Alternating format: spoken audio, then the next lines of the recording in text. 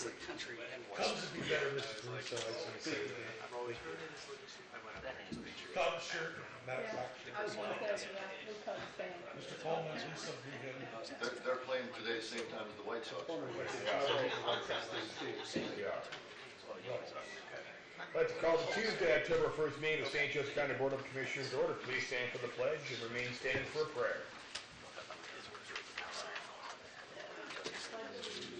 the flag of the United States of America and to the republic for which it stands, one nation, under God, indivisible, with liberty and justice for all. Dear Heavenly Father, we come to you today asking for your guidance and wisdom and support as we begin this meeting. We seek blessings on the tasks before us. We seek to serve our community wisely and well and represent all members of our community fairly with decisions that promote the common good. Continue to remind us that all we do is for the pursuit of truth, for the greater glory of you and the service of humanity. We ask these things in your name. Amen. And Before we go any further, if we could, I'd like to ask for a brief moment of silence. Um, Commissioner Thomas's brother Joe Thomas passed away last week. If we could just have a, a moment of silence, please.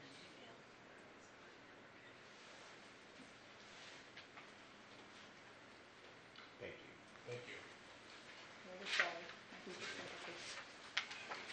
First order of business, opening reading of bids. First item from infrastructure planning and growth, Edison Road at Birch Road intersection four-way flasher installation of four-way conversion project. This is a much delayed, uh, we still did not receive any bids on this, so I think we're just going to postpone this. And definitely the feedback we've been getting is the, um, the groups who could perform this work, it's, they're pretty full, so the price that we would get would not be very advantageous. So I think we're gonna just table this indefinitely until, um, it gets brought back to us. Council, we can do anything formally with that? Do you want to table this item, or you just want to re, um, re? I mean, we can withdraw it too, just because once we advertise for our quotes again, we'll just bring it back on the agenda if that's acceptable. Yeah, Yeah. see, I don't think you're tabling. And we've got three contractors that we've been discussing with, and again, it's just where they're at right now, and the material lead time is, is outside of twenty weeks anyway, that the prices they would submit to us today are not reasonable, and they would prefer that we look to probably do this as a spring project. You're gonna issue another RFP in. the spring. Yes. So I don't think you're tabling anything, so uh, relative to this project. And, and we did formally advertise, and Mr. Casselli formally noted we have received zero bids, so Right. Yes. thank you. Very good. Moving on to Timothy Road drainage improvement quotes. Uh, Jessica Clark, offices in the 4th, 7th, 11th floor for Department of Infrastructure Planning and Growth. Uh, The first quote we have is Timothy Road Drainage Improvement quotes. We received two quotes. Make sure I grab the right one here. Uh, The first one is from Walsh and Kelly in the amount of $183,500. And the second one is from JCI Bridge Group in the amount of $159,494.40. Were there any quotes submitted that were not read aloud? Seeing none, uh, we'd recommend that the Board of Commissioners accept the opening of quotes, turn it over to us for review and recommendation actually at the end of the meeting today. Any questions or comments? Is there a motion? So moved. Second. Motion is second. All those in favor, please signify by saying aye. Aye. Opposed? Motion passes. Last, replacement of concrete for the Laurel Road Trail construction. Again, we received two quotes, the first being from McCullough Schulten Construction in the amount of $123,559, and the second from Selge Construction in the amount of $117,449.75. Were there any quotes submitted that were not read aloud? Seeing none, we'd ask again that the board uh, accept the opening of these quotes, and we will make a recommendation for the award at the end of this meeting. Just to note, as a reminder on this project, this is actually a project in coordination with Clay Township, as they received a grant from the county for this, and part of the partnership was that we were helping them administer the project. Uh, The county was providing uh, I want to say up to about 62,000 is what they were awarded, plus then they provide the remaining costs of that project to build this trail. Questions or comments? I think Madam Engineer for commenting that support any efforts of Clay Township. Is there a motion? So moved. Second. A motion, a second. All those in favor, please signify by saying aye. Aye. Opposed? Motion passes. Thank you. All right, moving on to reports and requests. First from the Board of Commissioners. First item is the accounts payable dockets. Is there a motion? Motion to approve. Second. A motion, a second. All those in favor, please signify by saying aye. Aye. Opposed? Motion passes. We're going to, Is she here? Is our employee of the month? Not yet? Oh, sorry, you guys. so we're going to um, postpone the employee of the month for a few minutes. Moving on into the 2020 holiday schedule. And before us, the uh, 14-day holiday schedule for 2020. Any questions or comments? Is there a motion? Motion to approve the 2020 holiday schedule. Second. Motion is second. All those in favor, please signify by saying aye. Aye. Opposed? Motion passes. Moving on to the Health Department. First item, request approval of Resolution R one zero C two zero one nine, health fee changes.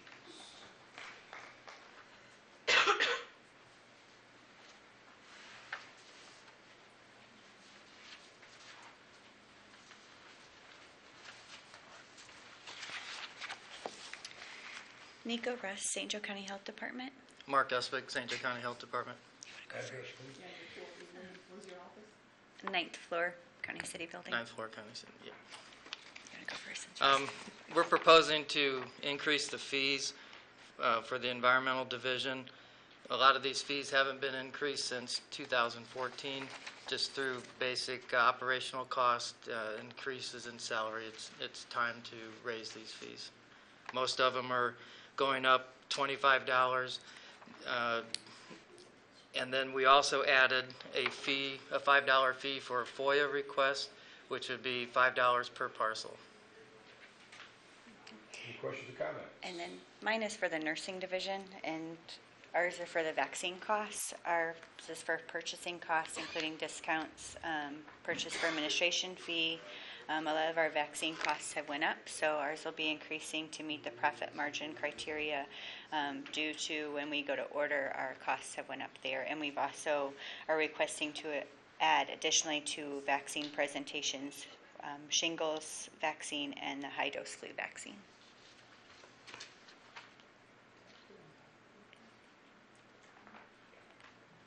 May I ask, what does tattoo and body piercing have to do with health department? We regulate massage parlors, tattoo, and body piercing. You regulate them? Yeah, they're- we inspect them, permit them, and, maybe you were doing that. no. No. Do you think you should expand? Then we No, can I'm like, really? Wow, yeah. No, thank you. You're inspecting, and we're inspecting that. Yes, And so you're charging, you're increasing that, when you go and inspect it, you're increasing the fee. Yes, the, the uh, establishment and the practitioners all have to be permitted through us, and then we also inspect the establishment. Okay. Any other questions or comments? Is there a motion? Uh, motion to approve the resolution R ten C twenty nineteen health fee changes. Second. A motion is second. All those in favor, please signify by saying aye. Aye. Opposed? Motion passes. Thank you. Thank you. Next, request approval to apply for the Indiana State Department of Health's fetal infant mortality review program.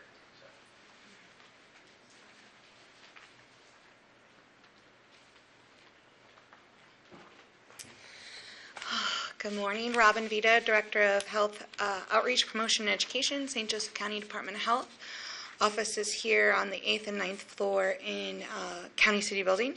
Um, This is our, this is a renewal of a grant we have received um, the last four years. And This is the third cycle. Um, It funds our fetal infant mortality review coordinator, where we um, subsequently host um, case review teams and community action teams to ultimately lower the county's infant mortality rate. Any questions comments? Commissioner Thomas? I'm, I'm gonna thank your staff for getting these grants again.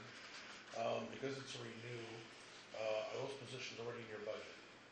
They, they will be moving forward. Um, Since the State Department of Health has asked us this year, each year, the grant in the past has been two years of funding. Um, This year, it is one year, or the proposed funding is one year of funding. Um, So we've been working with our Board of Health to see how that position can be secured in, in a county line item. And I think you're right, year, year one year is not our calendar year. So Correct. 2018, Yep. something like 2020. So you have somebody working on a council ordinance We do. Yep, and um, this, I'm sorry? for both years, Yes. just making sure Yep. mechanics are getting done. Yep. And then, and then certainly extend, I think I can speak for the board of commissioners, and all the St. Joseph County, to thank St. Joseph Hospital and Yeah. the health systems for paying the match. Exactly. Yep, and that's where if we do have, um, where we feel the most confident is since we have had the program um, where we've been able to trend data for a minimum of three years thus far, we'll have strong partnership and support from both health systems to continue not only our coordinator's position, but potentially um, other positions in the future. Thank you. Any other questions or comments? Commissioner Fleming? Yeah, um, you know, I, I want to make sure that we improve and decrease in our fetal infant mortality rate. Mhm. Do you have then yearly a report on what the causes of the mortality, Yep. infant mortality rate in St. Joseph County? Yep, we do, and I can, um, I'll gladly send, I'm surprised Sally would not have already. Um, we do each year do an annual report on our trends, um, what initiatives we're working on in the, the coming year.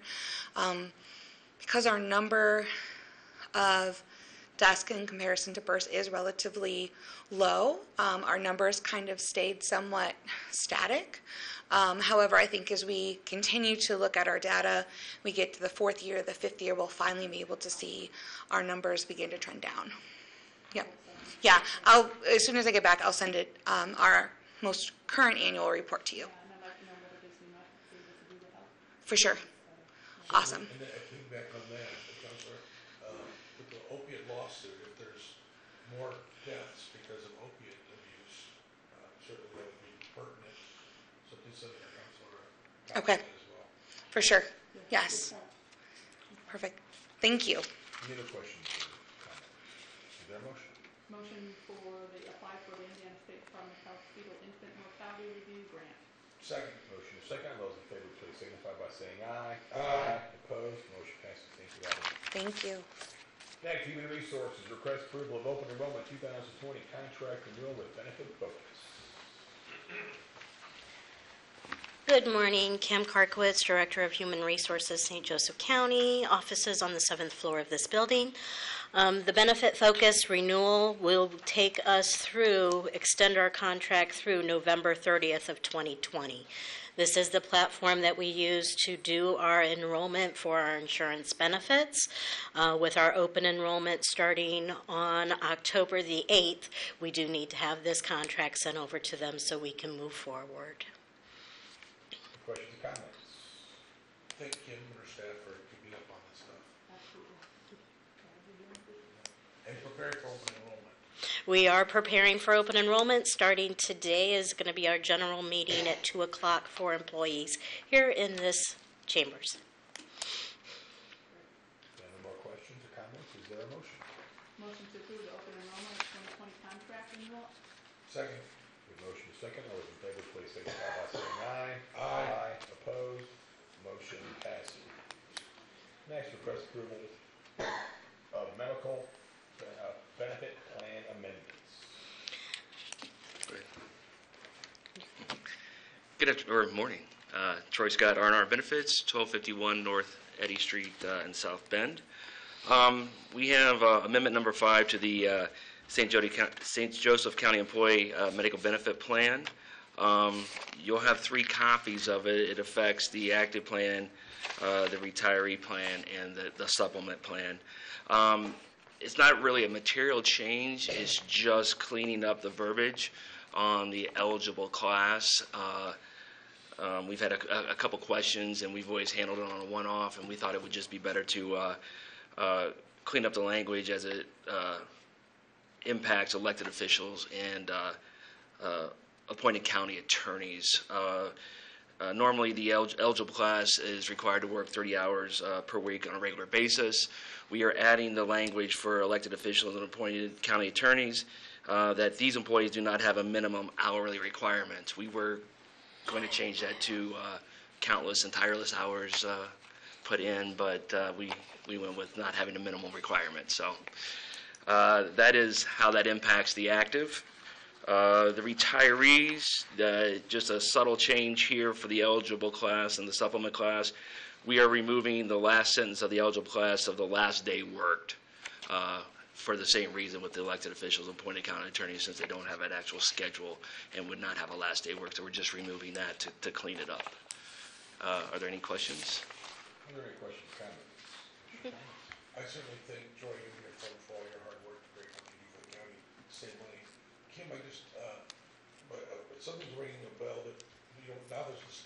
30-hour rule being expanded upon.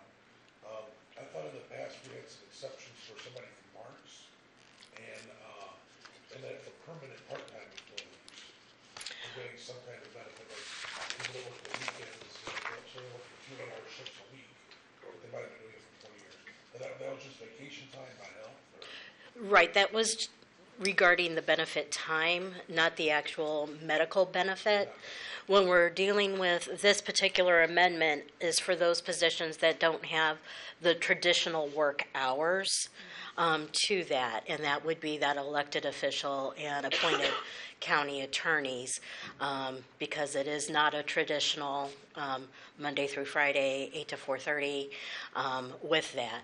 With other employees, we do have time cards and really work uh, shifts that we can actually show the actual work. These are ones that are off of that. Thank you. Any other questions or comments? Not, is there a motion? Motion to approve the medical benefit plan amendment number five. Second. There's a motion second, all those in favor, please signify by saying aye. Aye. Opposed? Motion passes. Thank you. Thank you.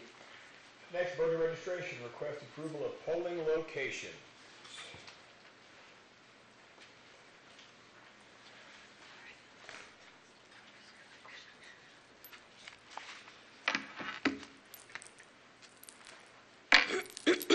Ariel Brandy, Democratic Board Member for voter registration. Office is here on the fourth floor.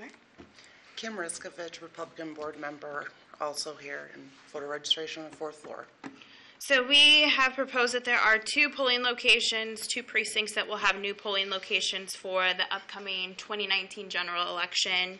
Um, those locations uh, were the First Christian Church, which will now be the Mishawaka FOP number 91. We will use door N. Um, the St. Joseph County Young Men's Society uh, is no longer going to be used. We will use the South Bend Fire Station number four. Um, per Indiana code, we will be sending out the postcards like we usually do to the voters, alerting them of the polling location changes. Any questions or comments? Is there a motion? Motion to approve these two polling locations. Motion is second, all those in favor, please signify by saying aye. Aye. Opposed? Motion passes. Thank you. Thank you. Next, moving on to the Department of Infrastructure, Planning and Growth. First on a bid request S six Road branch Structure Replacement. Good morning again, Jessica Clark, County Engineer with offices on the 4th, 7th, and 11th floor for Department of Infrastructure Planning and Growth. We have a bid request for Redwood Road over Branch Potato Creek Structure Replacement Project. We requested to be advertised this Friday, October 4th, October 11th, with a bid opening on October 22nd. Any questions or comments? Is there a motion? Motion to approve that. Second. Motion is second, all those in favor, please signify by saying aye. Aye. Opposed? Motion passes. Next, bid request S five seven five one eight one nine, Crumstown Trail over Laskowski Ditch Structure Replacement.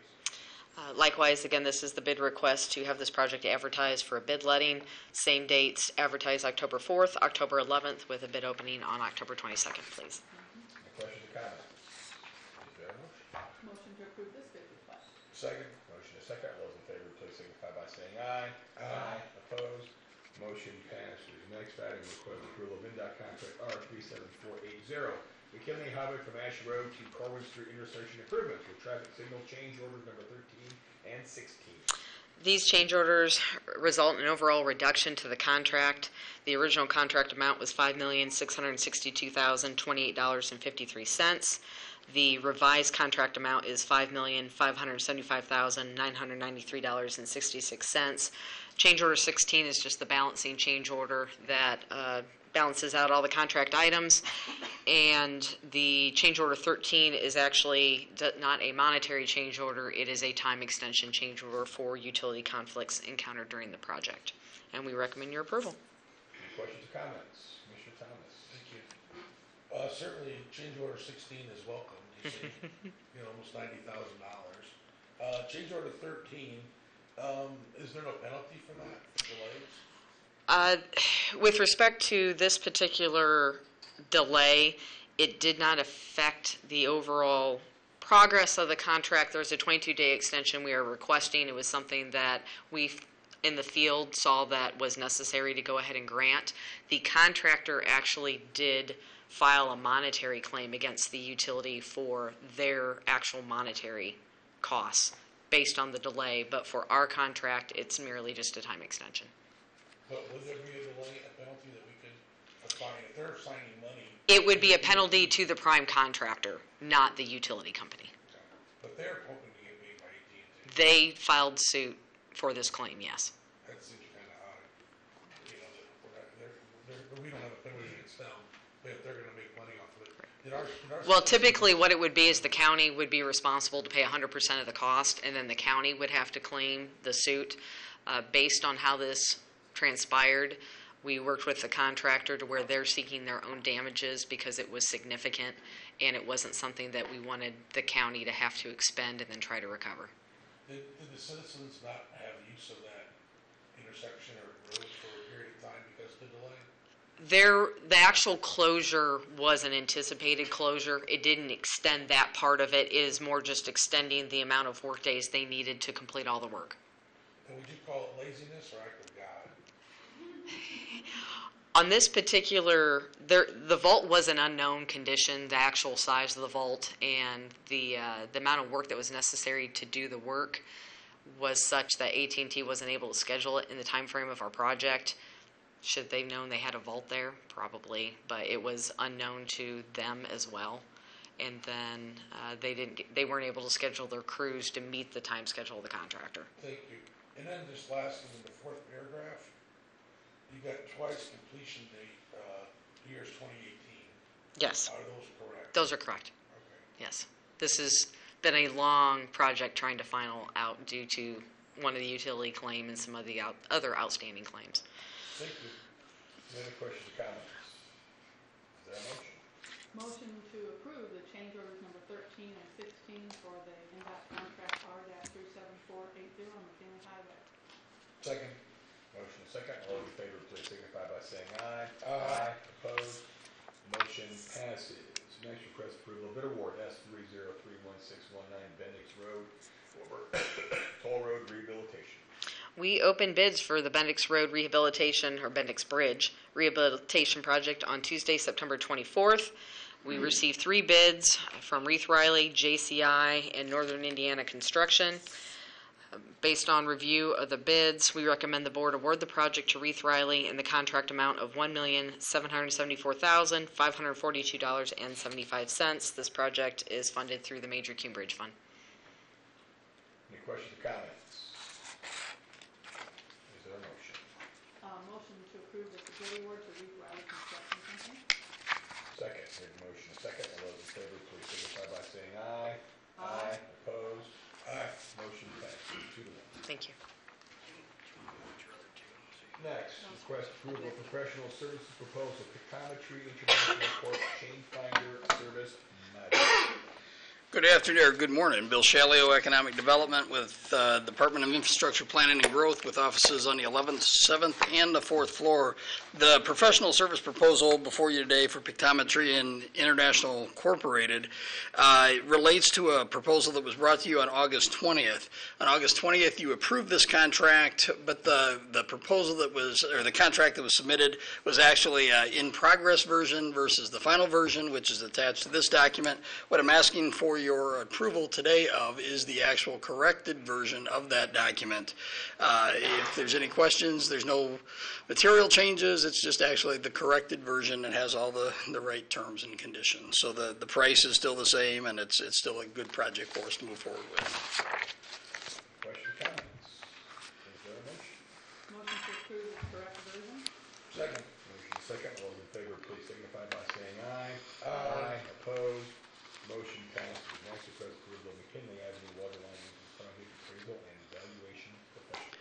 So item F and item G are related to the same project. As part of a project we're working on in uh, northeastern St. Joseph County, we're, uh, we're working with Penn Township, PHM Schools, and a variety of other partners to do a bunch of pre-development work for a potential development project at the northwest corner of McKinley and Bittersweet. Uh, Specifically here today are two sets of appraisals to appraise properties to extend a water line that exists between Bittersweet and uh, a point at Evergreen Drive. We have to get a number of appraisals. We have to get eight appraisals. The total price for the appraisals would be $2,690 uh, per appraisal for a not-to-exceed amount of $21,520. Two vendors were selected for this, uh, appraisal and valuation professionals and Dave Wazak Appraisals. Both of these are appraisers that do a lot of uh, easement appraisal work uh, for City of Mishawaka and have done work for the county. Uh, We'd ask for your approval of both of those, both, again, both proposals in the amount of $21,520. Any questions, I would be happy to answer. Are there fact any questions? Thank you. Mr. Shell, you mentioned, was it Penn, Harris Madison?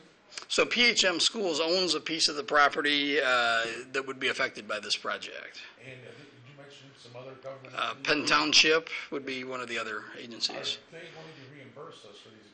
So this is actually an expense that we will bear as part of the, the, the joint project that we're all working on together. We will, we will take this piece of the project on. We need, if we look to do an industrial park at the site, uh, we would need water to the site, so this would be a piece of the work we would do anyway. And it's Mishawaka Clean Water, correct? It is fabulous clean water in Mishawaka, yes. Yeah, I'd like to see Mishawaka pay their own water, their own expenses. Well, I, I believe that they're going to be part of, they're going to cover cost or be part of the cost of extending the water line. So this is part of the work we're doing to get them to build the water line. Well, these are, this would be over forty-two thousand dollars. Correct. I, I'd rather see Mishawaka pay for it. Thank you, though. Yep. Counselor, are we okay to act on this as one, or should we act independently? We can ask on items F and G collectively. Yeah, I have no, no, just speak to that. There are no more questions or comments? Um, I I just have a comment, uh, or a question, uh, I mean, the, the appraisal is gonna be just, that's on, that's not in Mishawaka roads though, is it? No, it's actually in unincorporated area of St. Joseph County, yes. Those are the county roads that we need to uh, appraise to make sure, because we're gonna have to put the water in along there, so. Correct. That's why we have to do that, Right. right? But they're gonna put sewer lines in, correct? There's already sewer lines in McKinley. This is, this is a water line issue connecting point A and point B. Yeah, we're just seeing where we can put the, put it in that bunch of property. We're Right. just seeing where we can do that. We can't put it in the roadway, we actually have to put it off roadway, off on private property. Okay, There are no more questions or comments? Is there? motion to approve the McKinley Avenue water line easement project, uh, number, F- or letter F and G. Second, we have a motion and a second. All those in favor, please signify by saying aye. Aye. Opposed? Aye. Motion passes two to one.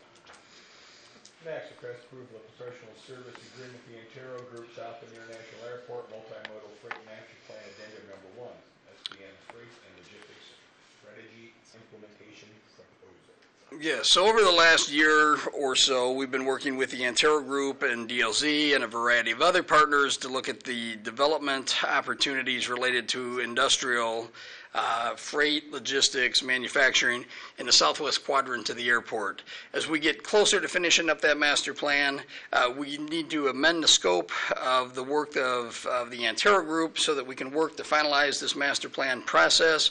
Uh, We've got a couple of tenant, or a couple of uh, prospects that are looking at the site, and so we have, we have chosen to use some of the, the, the funding uh, to, to study work with those tenants, as well as doing additional work on rail design into the park, coordinating that work with DLZ and AECom and some other business partners there. Addendum one would be a contract proposal, uh, expansion of $88,570. If there's any questions, I would be happy to answer them. Decide, what was the original contract that Antero got for this?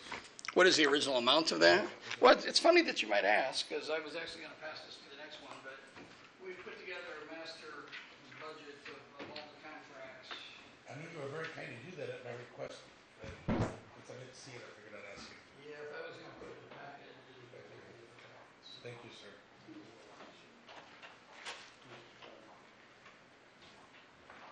But this, uh, is gonna be extending the scope of services by the company, right? That's correct. Yeah. So this is, the original contract was what, four hundred and seventy-five thousand, nine hundred and twenty dollars? Uh, no, it would be uh, 350,000. It would be in that category marked South Bend Freight, SBN Freight and Logistics Park. Okay, all right. Wow, so Antero's made one point two million on this so far. Well, they've actually made that on, it's, it's work there and the work it's doing out in the IEC, yes. Uh, I'll, I'll save everybody's time, everybody knows I'm not a fan of either project, so I just, Yep, that's fine. Any other questions or comments? Please go ahead. Motion to approve the Antero Group International Airport addendum number one. Second, we have a motion, and a second. All those in favor, please signify by saying aye. Aye. Opposed? no, I, I'm gonna be Motion opposed. passes two to one. I was gonna say, I was getting confused up here. What's going on? It's Freaky Friday. Uh, next, we have request approval of CRISI Grant, CSNS and SBSJC redevelopment commission partnership agreement. Thank you.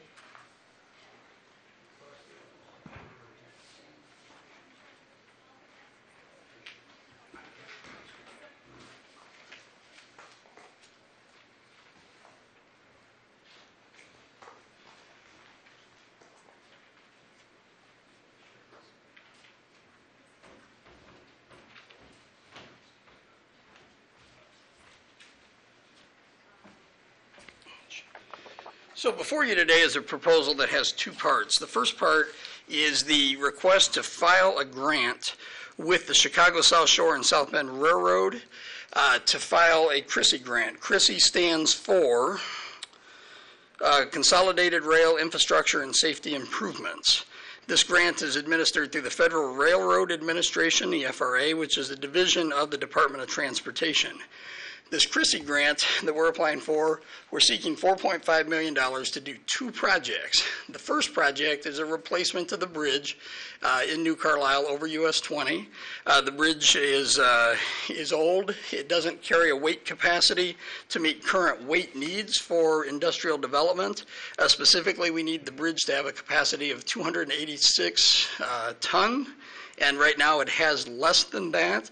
So the first piece would be a complete replacement to the bridge. Uh, there are some opportunities with that that it will allow for a wider span underneath the bridge. This opens up the ability to have pedestrian access under the bridge, something that doesn't presently exist. Plus, it will be a bridge that will be much more substantial and uh, be a nice welcoming piece into the town. The second piece is to pay for industrial track into uh, land already owned by Chicago South Shore uh, near the intersection of Smilax and US 20. Uh, This will open up rail development opportunities for Chicago South Shore. Uh, So these two grants, or these two pieces together, again, a $4.5 million grant request. Uh, What we're being asked for is to partner with Chicago South Shore uh, at an $800,000 level. So we would put in 800,000, they would put in 800,000. We have some other business partners that are also putting in funding that will raise our percentage match to a higher level. So that would be the first part of this, is the request to be able to file the grant. The redevelopment commission has already approved that request. The second piece of this is Bergman, which is a consulting firm that does these CRISI grants, does a lot of other work, a lot of rail-related work, is putting together the grant application with our staff and, and coordinating the, the, the development of the grant. Uh, the proposal is to split the cost of that grant. Uh, the, the grant preparation work is estimated to be $20,000. So we would split that work 50-50 with Chicago South Shore. So our percent would be, or our, our fund in would be $10,000. So we'd ask for your approval to file for the grant and add an amount of 800,000 by the county, as well as to pay the $10,000 to, to cover costs, or up to $10,000 to cover costs for the grant preparation and filing. The grant would be due October 18th. If there's any questions, I would be happy to answer them. Mr. Chuck, when I first saw this letter from the Chicago South Shore and South and Railroad I didn't recognize the name, and I was surprised it didn't say Nick. Mhm. And then someone said to me, well, I think NICTD is the umbrella of the organization, and one end is passenger, and that this Chicago South Shore is freight. Is that? No, that's, that's absolutely false. There's actually two separate contr- companies. NICTD is the passenger service, it's the, the silver trains, if you will. And then Chicago South Shore and South Bend is actually owned by Anacostia Railroad. Uh, Anacostia Railroad owns this as well as several other short lines. Chicago South Shore and South Bend has rights to travel on the NICTD-owned tracks, and so they are actually uh, a tenant, if you will, of NICTD on the tracks. At one point in time, they used to all be one company. Over the years, they've been split apart and separated. Thank you for that very good explanation. So McNeil owns the tracks and the stations. That's correct. Um, federal money, thirty-five percent is, is, is, uh, was that the thing that was announced in the paper last week? It was Mo- last Monday's Tribune, page A three. There was a story out of Munster that, uh, the Port Lake and Porter County have been designated as a federal, uh, economic development zone for the Chicago Greater Land, Greater Chicagoland area. Is that maybe part of that? No, this is absolutely a completely separate thing. What they, what they have received is federal ED uh, designation, which allows them to, to apply for grants at a different level or applies for funding and things like that. Did you see that article? I did. I, I thought it was interesting that they didn't include. Joseph County in the Chicago Greater Land Economic Area. Well, we aren't, we aren't part of that, the RDA, which received that designation, so we wouldn't be eligible to be part of that designation. Will these funds be paid out of the Union Carlisle TIF? Uh, They're proposed to be, that's correct. Uh, originally, I wasn't a big fan of this, you know, but I thought about it. I like the map you gave me this morning. Uh, I see that the bridge is gonna restore a bridge that needs some, Mhm. some modernization and passenger safety.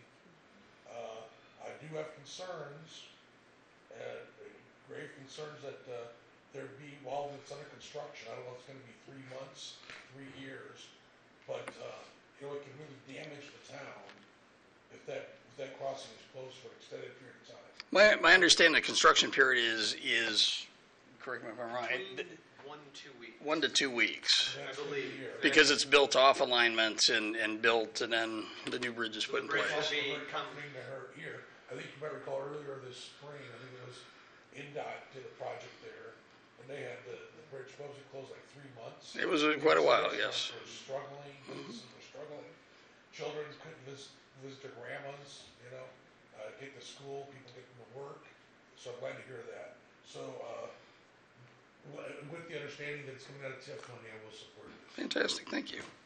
Any other questions or comments? Is there a motion? A motion to approve this CRISI grant? Second. A motion, a second. All those in favor, please signify by saying aye. Aye. Opposed, motion passes. Also note, uh, yesterday's NICTD board meeting, um, Todd was there. um, Commissioner McGuinness from INDOT was at the meeting as well, so we had discussions there, so they will be providing a letter of support. Fantastic. Um, and it's, at least from a South Shore perspective, it's a very exciting project, I'm long overdue, so thank you for helping bring this to fruition. All right, next up, request approval of professional service proposal, the Antero addendum.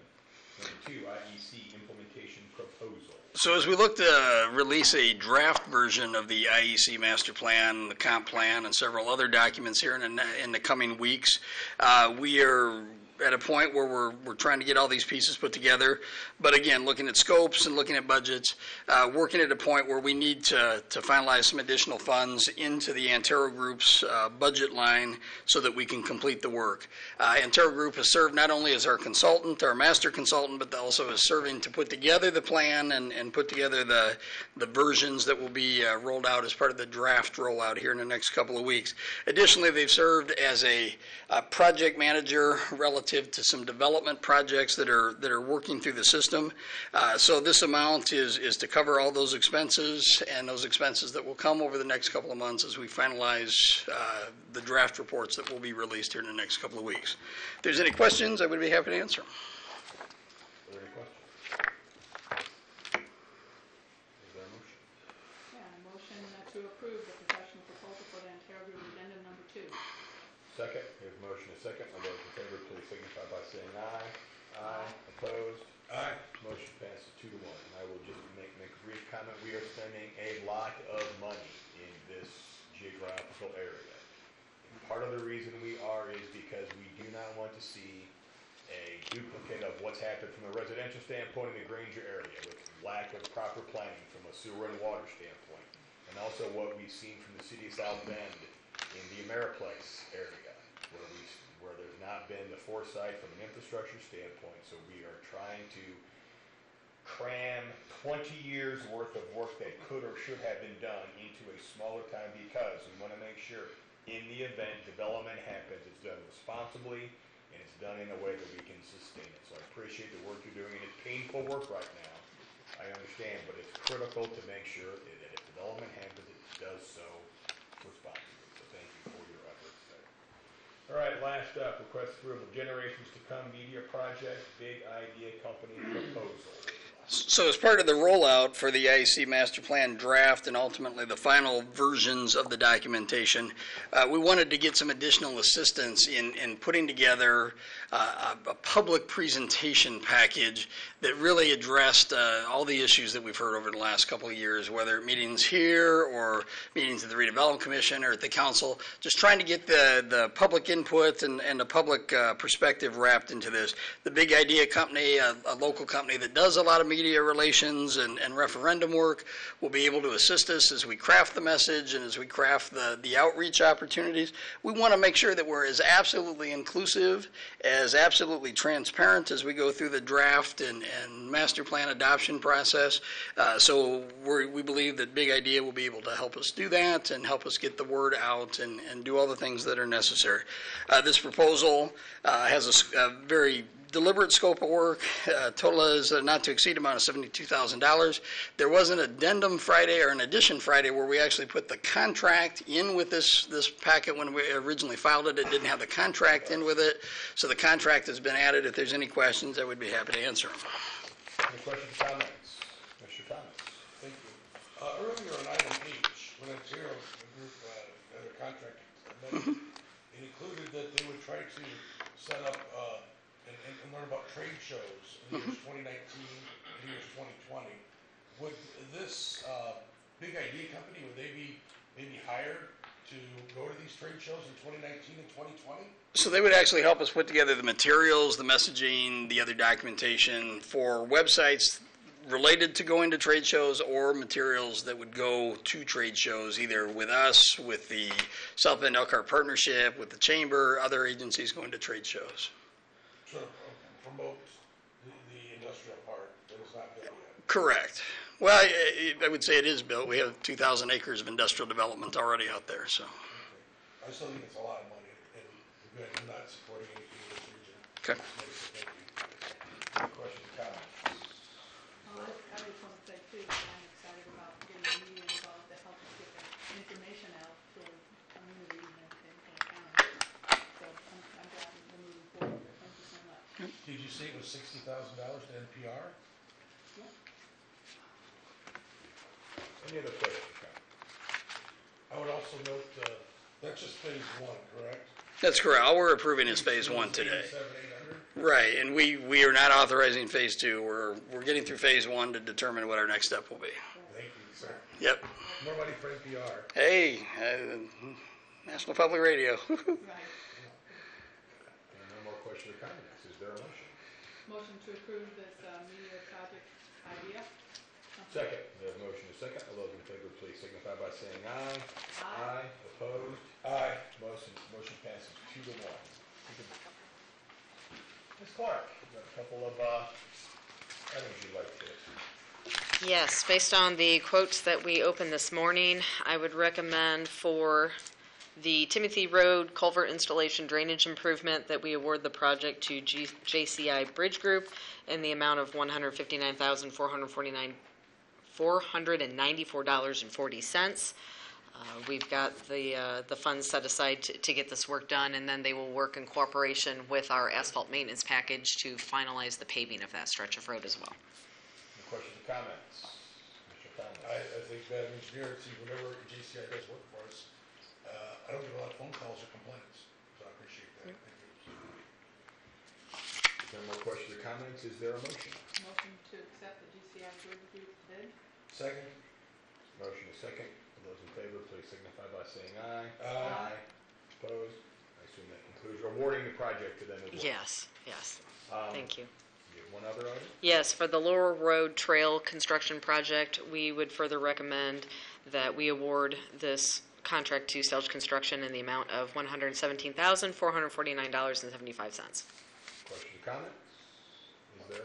What was the name of the company? Selge Construction, How do you spell that? S-E-L-G-E, out of Niles, Michigan. I got it now. Okay, and you want to award that? Please. Contract to them? Okay. Move forward, a motion to approve that, move forward with the Selge Construction. Second? Motion is second. All those in favor, please signify by saying aye. Aye. Opposed? Motion passes. Thank you. Um, Thank you. Don't believe, or, so we may, we may table this until next month. Or until, until next, in two weeks, we are meeting in two weeks. Um, She's not here? Oh, I'm sorry. so moving on to old business, seeing none, public comments. Are there any public comments? Please state your name and address for the record. Morning, Dan Caruso, 305 Compton Street, New Carlisle. Uh, I'm so glad I was able to be here this morning. Uh, You've answered a number of my, my friends' concerns uh, regarding the IEC. Um, Commissioner Kostielney, thank you for the explanation on the importance of pre-planning, that it still doesn't make us real happy, but I, we understand why this is going on. Uh, And, and you've made it perfectly clear that you're being very careful, uh, and that Bill is being very careful with what's going on here. Uh, The transparency is, is refreshing. Um, Months ago, um, Jessica Clark uh, assured me uh, at a redevelopment commission meeting that the Timothy Road project was on this year's agenda and it was going to get done. And as I see the hole continue to get larger there and uh, helping one elderly lady out of the marsh after she'd been directed into there by an oncoming truck, um, I was a little concerned. And then to hear, hear the bid actually awarded here at this meeting was, uh, uh, felt good. And uh, thank you, Jessica, for following through on that. And uh, just say uh, Jessica for president. Thank you. I'll also note on Jeff's behalf that the IDEM was one of the reasons why it was delayed as long as it had been as well. So that was, um, so I appreciate her staying on top of this and getting it moved forward as quickly as possible. Any other public comments? Seeing none, the motion to recess in order. Just, just for your information, we do have a trustee hearing, so we'll reconvene to hear Portage Township trustee case number 5790. Also, after we recess, Mr. Phil sent us here to have some documents executed related to the St. Mary's closing of their bond, um, which we've approved, so we can get those So documents. is signed the action to simply recess, is to recess and reconvene what, It uh, would be to recess and reconvene. After Mr. Pacetta. Yeah, for trustee case 5790. does that motion exist? So moved. Second? All those in favor? Aye. Opposed? Tough luck. We are momentarily recessed. Trustee hearing. Yeah, point out the video? Let's see.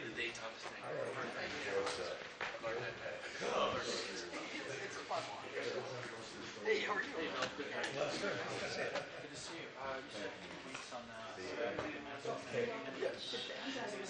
So we're. I'm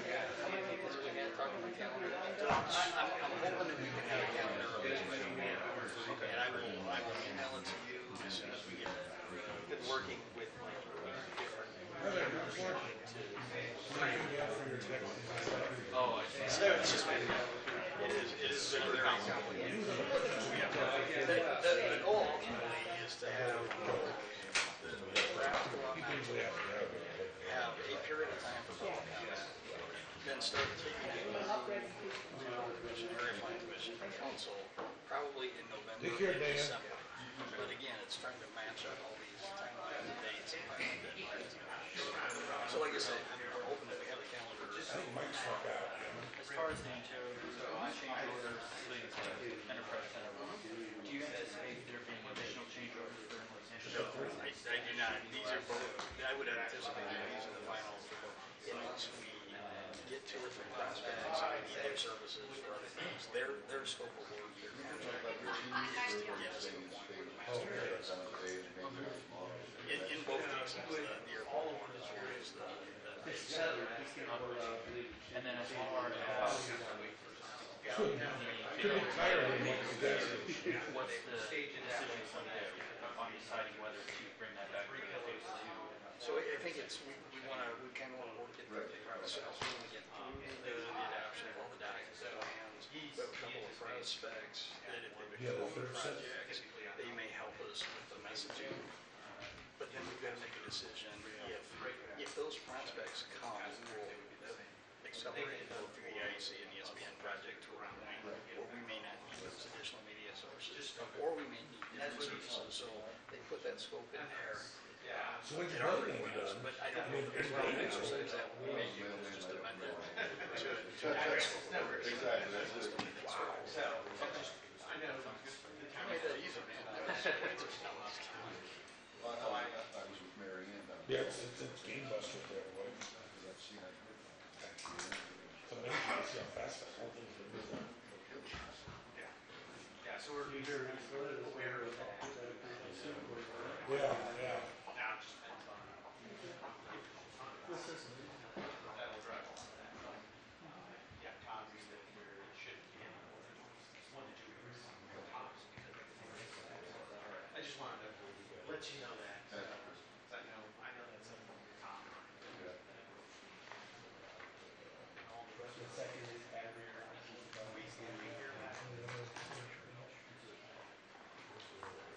We, there's Set of three or a It's single? the same. Single. That's it. Yeah. Don't scare me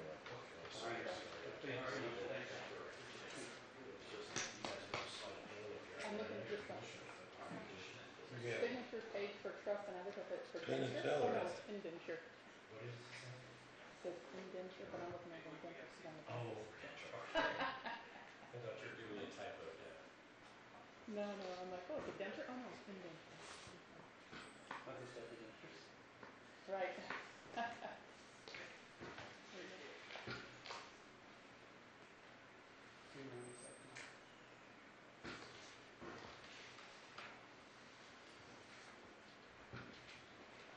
Well, he's certainly not square. But you got a cold, huh? Sorry. You wanna, you hand us all this paper? Thank you. Okay.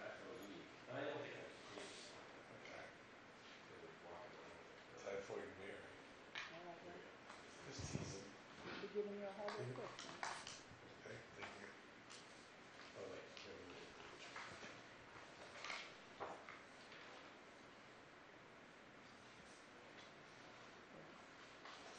I'll just sign it. Okay. Sign it, so-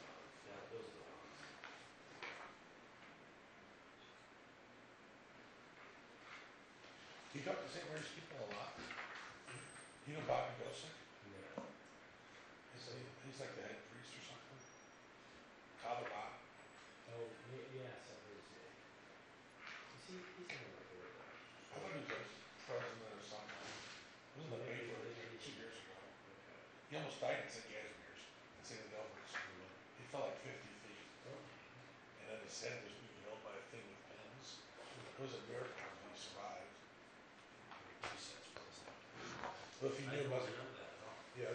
gonna, uh, if you could see him, I'd say, tell him Father Lemos is coming next week, his old pal. For a special deal.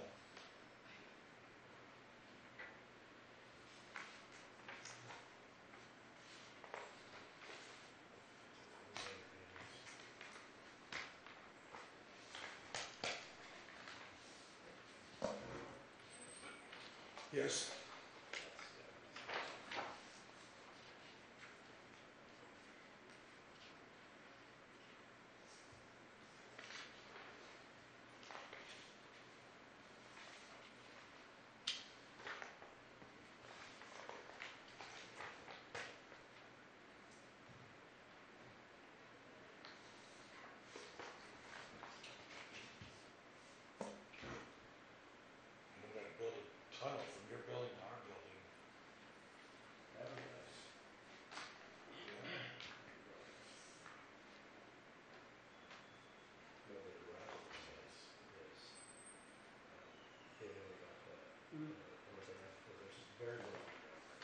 Yes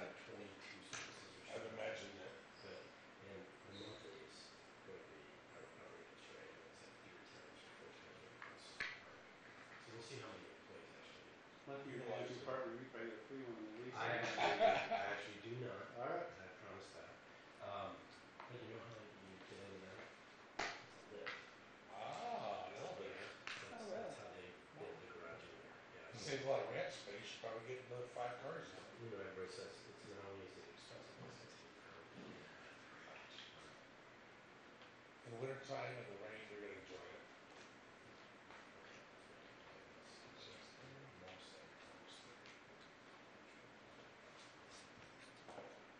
Or just have the company buy you a hovercraft or or a helicopter, you got a helicopter landing on top.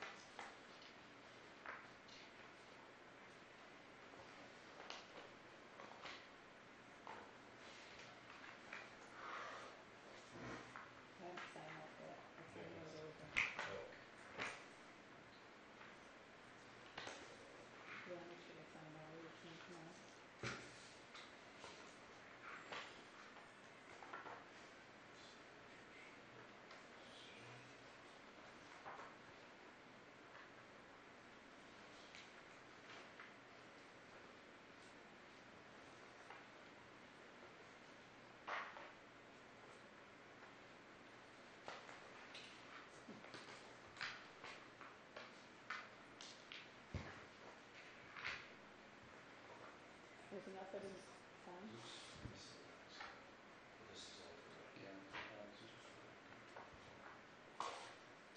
sign?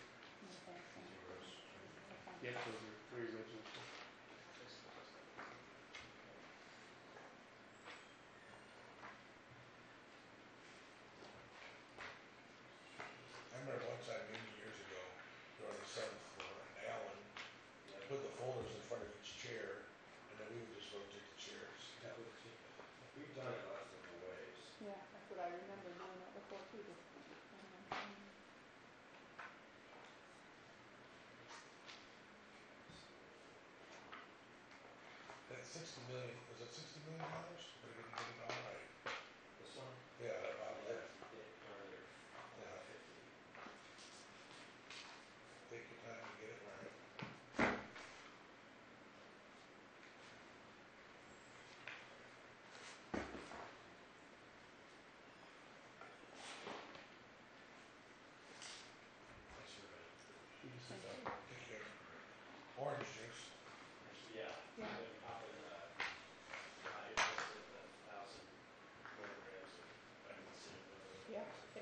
If you care. Phil, all right, so council, then we, We're going to reconvene for um, appeal hearing 00579 to Portage Township trustee. Uh, Thank you guys for your patience this morning. Go ahead and call me to order, Mr. Kostielney, and I'll say some comments and we'll get going. all right, and to reconvene the October first meeting of the St. Joseph County Board of Commissioners. Council? Thank you. So we're here on the hearing for the uh, appeal of the denial of assistance by Mr. Amir Coley. Mr. Coley, you're here? Yes. Okay. Uh, Mr. uh, Coleman, we're, uh, see that you're here. Who's with you this morning? This uh, would be our Aaron Dombrowski, uh, caseworker, senior caseworker, and then Kim Witzkowski, caseworker in the office. Do we need a microphone down there? Um, I think the mic's probably speaking loud enough, but we can. Everybody that's going to testify or say anything this morning, please raise your right hands. Do you affirm or swear that the testimony you're going to give this morning is the truth, the whole truth, and nothing but the truth? So how this starts, sir, this is an informal hearing. This is not a court proceeding. There are no formal rules of evidence or anything like that. So generally speaking, we'll hear from you first, Mr. Foley, as to why you believe that the denial of your petition for assistance was violative of Indiana law or the regulations set forth by the township. Uh, Mr. Coleman, we do appreciate that the commissioners have received a memo dated September 27th, 2019, uh, regarding uh, some history regarding this file, so that's much appreciated as you get those to us on an ongoing basis as we deal with the uh, Portage Township appeals. So we'll first hear from Mr. um, Why do you believe that your denial of assistance was violative of Indiana law, sir? Uh, it's not necessarily that I feel like it was violating the law for them denying my uh, me rights to uh, get help or anything like that. It's just that I feel like they were uh, assessing my situation uh, a little different. Um, for the most part, uh, what they were denying me for was based off of an income base. And they were saying that I make uh, too much money. I was, well, they were trying to say that I had enough income to cover my expenses that they would deny me help. But I was trying to explain to them that my situation changes from month to month. Uh, what I make one month, I might not make the next month due to the type of business that I'm in. I'm all into, which is renting property, real estate rental property for the most part. And I was trying to show them that they, uh, the tenants that I had last time when I was applying for assistance is not the same people that I'm even dealing with at, at the time now. So um, the bill that I was trying to get help with, I was denied, and I felt like they didn't properly assess my situation before denying me. That was it. Okay. Is there anything else you want to tell the commissioners relative to this matter? Do I want? Is there anything else you want to say? Well, I mean, for the most part, they've been uh, helpful for the most part in my situation. I've had to come to them many different times and get help. I appreciate it. I'm not saying I don't appreciate what they do as far as helping. This was a, just one time where I really needed help on the bill. So that was the only thing I really need to say. Just really need you. Just really need your help at this time. Mr. Coleman will be speaking on behalf of your office. Thank you. Uh, I will speak on behalf of the office, and uh, I may defer or uh, ask uh, Ms. Dombrowski or Ms. Ms. To um, uh, also offer comments. Um, The two criteria that we cited that made uh, Mr. Coley ineligible for assistance at the time of his application uh, was that he was specifically over income. And Mr. Cole is right in point, uh, correct in pointing out that we have helped him in the past, and his situation has varied. And our, um, uh, the, the, the assessment of his situation is done on a monthly basis. And in this particular month, he was over income, and he had countable assets uh, that uh, prevented us from being able to provide him with assistance. Uh, That is the long and the short of the case. Um, So I, I would offer that much to you. Um, As specifically the reason. over income, you mean his income exceeded what you would have as your written policy relative to That- what an that's individual could correct. have for a month-to-month Yeah, that's correct. And I should also uh, mention that I've uh, done my best to outline uh, those details in uh, my cover letter to the commissioners with regard to the, and then reference our uh, standards um, uh, in the office. Um, And we've, uh, what, we've been through this, the process with Mr. Coley on more than a few occasions to make certain that he was aware of what, not only what our standards are, but what the state statute spells out as well. Uh, And we've given him a copy of uh, the standards. I can appreciate uh,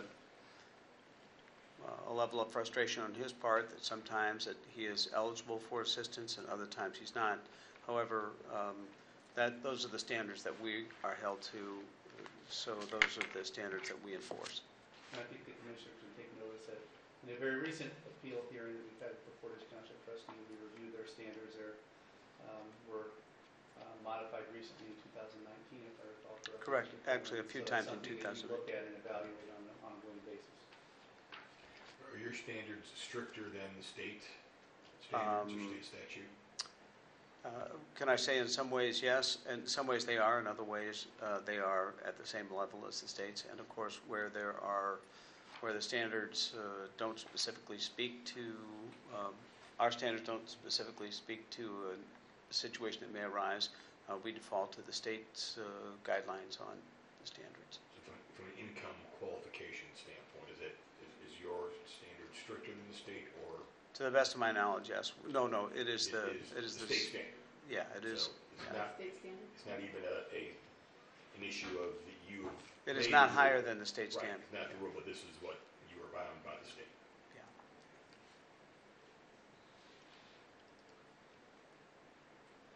And it's a monthly thing that you go through, right? You- Well, the, you the can month, assess people every right, the month. assess, uh, uh, Mr. Kohler would be uh, well, welcome to visit our office during the month of October and apply again. And if we um, find that he is not over income or that he does not have countable assets, and we'll- when we refer to countable assets, uh, at the, the time of his application, his most recent bank statement, which was four days prior to his appeal, appearance at our office, um, showed that he had 1,448 uh, dollars, um, in the bank. And with those resources available to him, um, then we were left no choice but to say um, that he had, he or anyone in that position would have to use their own resources before they called upon us to, uh, to assist them unless there were extraordinary circumstances. And we didn't see any extraordinary circumstances in Mr. Coley's situation. The, uh, I, I want to point out uh, something else for future reference. Uh, There's a um, unique aspect to Mr. Coley's case in that uh, he does have a, a tenant in the building that he also resides. And in this instant, in this, uh, in this case, um, he uh, said, he reported that he was a household of one. And as a household of one, um, then if he, if there are utilities that are shared with someone who is not in his household, that would make him immediately ineligible for any benefits because it would be someone who is not in his household who would also be receiving the benefit um, of, say, a a utility bill if the if utilities are shared, if they're not separated for the, um, for the two tenants. And to the best of our knowledge, um, there is no separation of the utilities for the building that Mr. Coley resides in and that he has a tenant in, ups- in the upstairs portion of his uh, building. So I, I just want to mention that for your benefit, so you're aware of that in the future. So uh, in the past, Mr. Coley has come to us and um, uh, identified other members of his household, and we've been able to uh, verify income on them. In one case, um, he did not uh, verify income on an additional member of his household, and that was in May, and he was denied at that time assistance um, because we didn't have the information that we could process to make a determination as to whether he was eligible or not. But we have assisted him on seven different occasions during the year 2019. I'm- I generally have a lot to say, and I apologize if I talk too much. But uh, uh, I I know Mr. Coleman, we worked with him, uh, you know, before, and uh, he seems like a very kind person.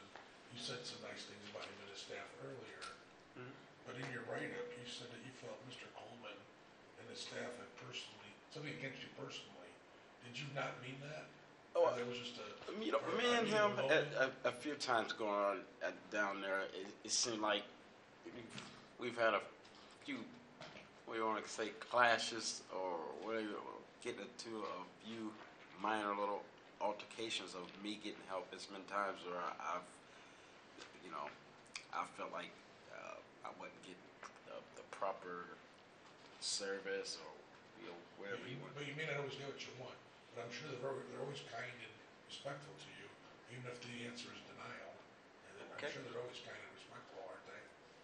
I mean, everybody's not the same every day. No, I'm not. I don't come up there with the same attitude every time. So I, I understand why he might be sometimes that way towards me. I, you know, You- And you, you understand the rule about income level? uh, that wasn't explained to me in specific detail when uh, you know, or it wasn't. I haven't seen it in black and white. You What the understand it specific now. rule about detail level? I mean, If you're single, it's one thousand and twelve dollars? Yeah. Okay, and this is what I was trying to say to him.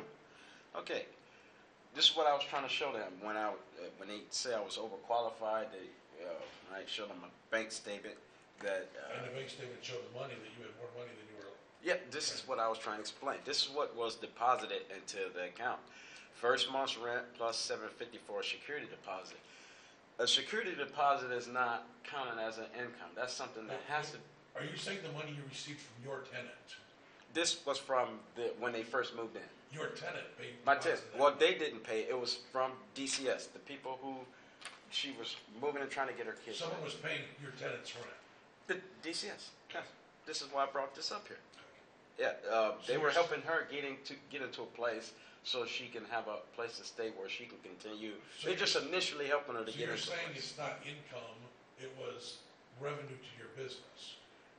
That's not what I'm saying. If you listen to what I'm saying, as if you would read this piece of paper, when the tenant initially moved into the place, which was nine four nineteen, uh, well, well, just basically this month, uh, the month of uh, what was it? It might have been. Yeah, it was September when she moved in.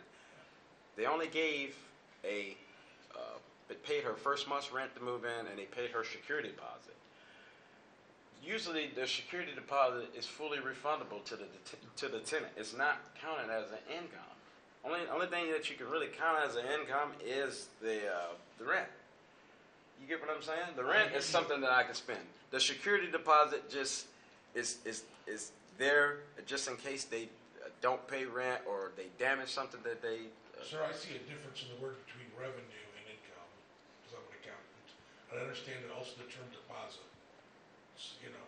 Okay. So, uh, so I, I think what you're really saying is that the money that was in your bank account was not your income. That's not what- yes. It was your business's revenue and deposit. Yeah, it's expenses out of it. It's a Okay. utilities included I got you department. there. Yeah. I got you there.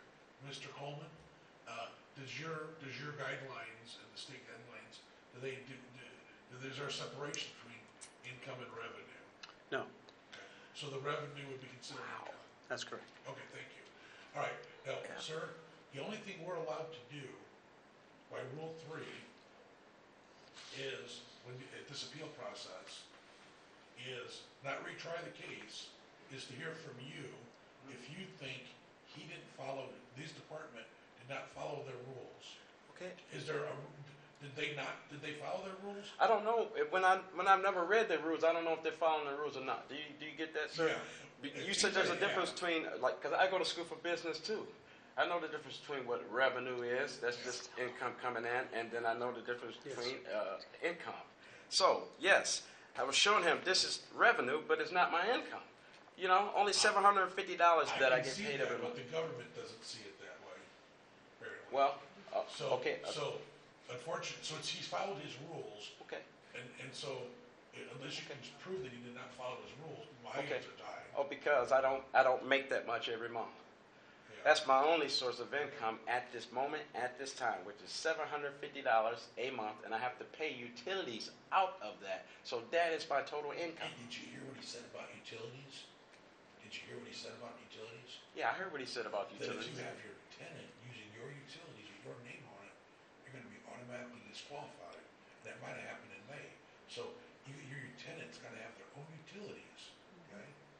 And you can't have that much money in the bank, okay? Understand the rules and file, and play with the, follow the rules. I don't have that much money in the bank. That's why when they asked me to go get bank statements and all that, I showed them But the money type was of money there. that do The come money into was the. there. Yeah, I understand. It was there at that time, the, it- the show deposit, but it was taken right back out. But This it is, was there, it was, it was recorded, and again, the thing with utilities, I'm pretty sure I heard the trustee, that, if- it- sir, I'm gonna ask you to repeat that again, if that's all right. So if I understand it correctly, if he's got a tenant living in his house, and he's only got one set of utility bills, then he would automatically be disqualified when he claims there's only one in his household. That's correct, because That you would be sharing the how have benefit I been with the helped in the past? non-household. You've I'm been just lucky, saying- okay. you've been lucky. How have I been lucky?